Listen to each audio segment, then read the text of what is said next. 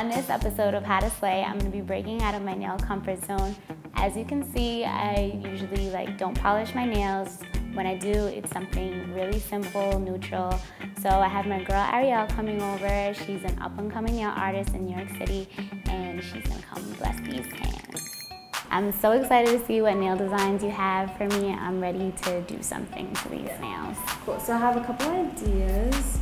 I feel like I want to combine a few hot trends right now, which is one being negative space, two being the glass nail, and three being the ombre. So we're really gonna elevate this look. Oh, I like that because I usually like a really neutral type of nail. So like even with the pinks in there, we could pull like a soft pink, do a gradient, and then lay the iridescent tape over Ooh. to give it a little bit more depth. What is this? It's actually hula hoop tape, but it gives that iridescent effect on the nails and that broken glass look.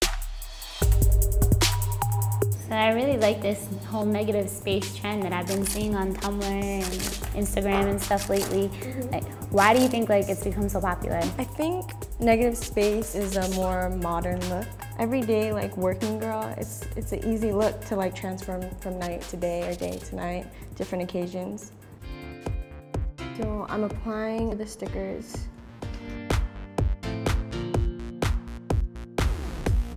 They look so nice. I love them so much. I love the color and I just feel like this is a design that'll go with whatever I'm wearing.